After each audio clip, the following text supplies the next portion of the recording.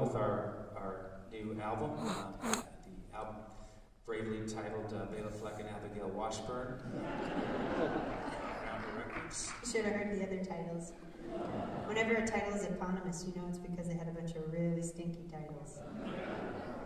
Yeah, let's not go into that. Okay. But anyway, since this this record has actually been been number one in the bluegrass charts uh, ever since it came out,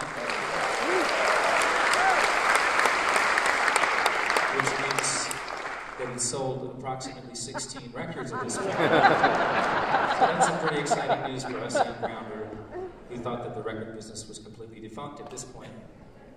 But uh, they gave us some money, so we decided we should invest it into the show, right? Yeah, yeah. Yeah. So we decided to invest in some uh, high-end production items, yeah. uh, and we'd like to make welcome our um, our wonderful stage manager who's going to help us unveil. Some of these said Some of these- items. Yeah. So, um,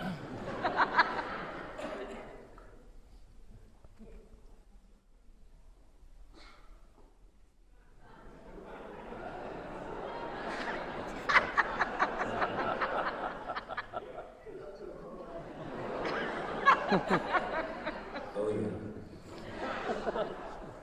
Thanks, Josie. Josie, uh, Josie Hodrick. Josie Hodrick. I really think she's going to make Employee of the Month one of these. So we're going to go back to the 80s for this next tune, if you haven't figured that out. Bela said he was so busy in the 80s he missed all the music. Uh, so I've been reintroducing him to some of my favorite hits from when I was a, um, a wee lad. Lad, Did you used to be a Oh, I didn't tell you about that.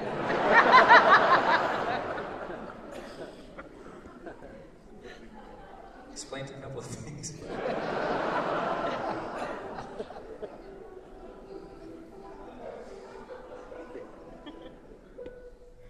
Sorry to drag you guys into this. But yeah, this this uh, next tune we're going to cover, um, it's been voted one of the ten worst tunes anybody could possibly ever cover. And so that interested us.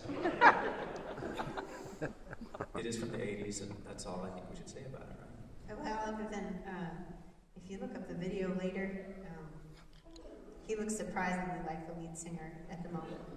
Oh no. We're going to do an instrumental though.